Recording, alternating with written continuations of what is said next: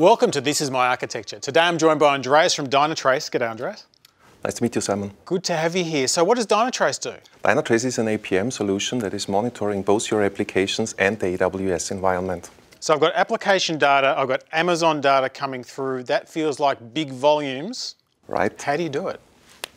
So we are placing our agents into the environment of, of our customers, and these agents start monitoring the applications by putting instrumentation on them. The data is then sent into our backend, and we will learn more about that in a minute. At the same time, we are subscribing to CloudWatch, which is, of course, retrieving all the health data from uh, the most important AWS services. And we are getting that data also in our backend, where we blend it completely seamlessly with all the data that we are getting from our agents. So you've got a whole lot of data coming in, and there's this interesting box at the end here. What's happening there? So this box is called Security Gateway, and it fulfills two purposes, essentially. One is that we are terminating all the SSL connections coming in here. It can be hundred thousands of agents and, and, and even more uh, at the same point in time. So we need to terminate all the connections here, and we're also doing demultiplexing of the data, so we reduce the number of connections when we send the data into the actual cluster in the backend.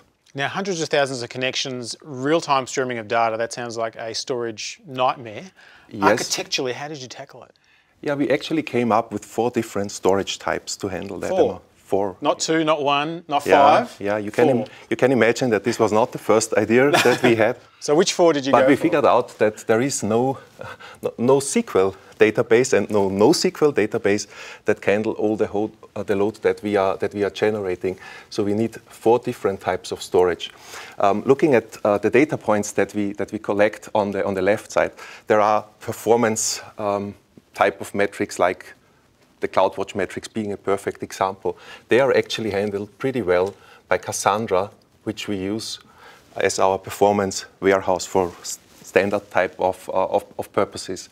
When it comes to the deep data that we are capturing, single code level data, single SQL statement level of, of, of data, then we need a more specialized approach, and we are using the best quality type of elastic block storage than we can get, and proprietary mechanisms to write and analyze the data to handle that amount of load. For sure.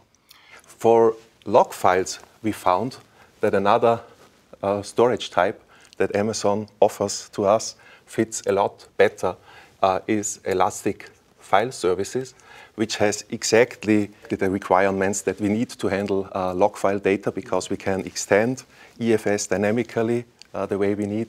It has built-in redundancy, uh, which is very nice, and it exactly matches our requirements here. So we said we had four different types of, of storage. There's one more, I've got to guess. I wonder if our viewers can guess which is the next one. The next one is Elastic, and we, we use uh, Elasticsearch to store user actions and user session data that we are capturing when we do user experience management or real user monitoring, uh, as we most frequently say. There, this is where the indexing capabilities of Elastic um, are fitting in very, very nice. So this is a really great example of where an architecture can't rely on just one form of storage or storage interaction. It needs a blended approach. Absolutely. And so you've intelligently decided where things go and for what purpose. Right. And as you, you mentioned in the beginning, nevertheless, you end up in a situation where we have a huge amount of data. We have a lot of computation power, of course, on top of the data that allows us to analyze the data. Nevertheless, the value of our solution is really coming from an artificial intelligence based layer that is analyzing the data and presenting it in a way to our customers that they can make use of it, right? It is one thing to have yeah, collecting huge, it all. Collecting make sense of it. And presenting it in a way that uh, is useful. And that's actually where that we have device a friend here, yes. Uh, you can talk to your is, uh, system, is, is, is coming in. So to speak about the architecture first, this is actually very, very simple. So through um, Alexa, of course, this is calling um, a service that we call Davis, and it is implemented with Lambda functions, and then the Lambda functions are calling through the security gateway again into the backend where we have that artificial intelligence layer. So let's have an example. What would you say to? Uh, let's give it a try, right? Alexa, ask Davis how Dynatrace is doing today. Everything looks fine. All systems are performing as expected, and no problems have been reported today. You'll be happy to hear that new trials are up 10% from this time last week.